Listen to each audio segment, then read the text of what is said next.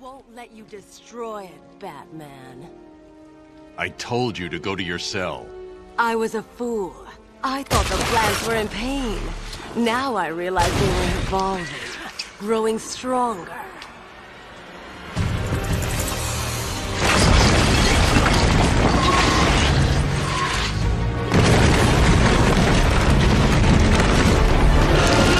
And now we'll grow together.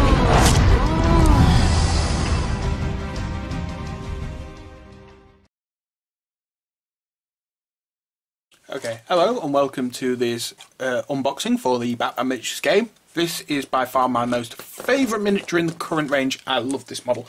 It is the Batman Arkham City Poison Ivy. A gorgeous paint job, gorgeous model. This is my favourite one. It's a slightly different packaging to the rest as well.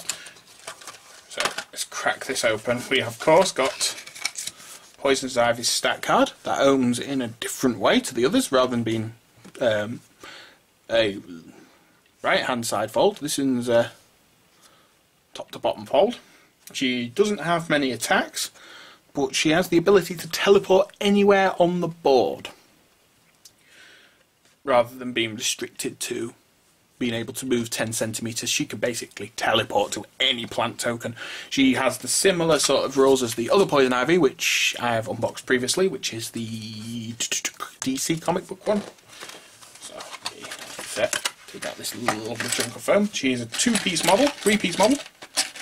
So we have our 35mm base, which I'm going to do a very nice custom metal base on her. Okay, we'll start off with her gorgeous head. With all those flowing hair. Uh, come on, camera, focus on these details. Oh, I've got a head upside down. Put them. There we go. That's a face there. Very fine details on this miniature. This is going to take a lot of highlighting and a lot of careful, careful uh, picking out of details. Her two little arms. So you can pose her a little bit.